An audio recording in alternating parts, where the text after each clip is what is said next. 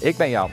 Ik werk graag bij Dijka doordat ik veel variatie heb in mijn job. Ik ben uh, allround operator op de nabewerking spuitgiet. Naast mijn ploegchef geef ik de leiding aan een groepje van uh, vijf vaste Dijka-medewerkers en die worden aangevuld door een aantal uh, uitzendkrachten. En daar maken we dus de nabewerking spuitgiet mee, mee groot eigenlijk.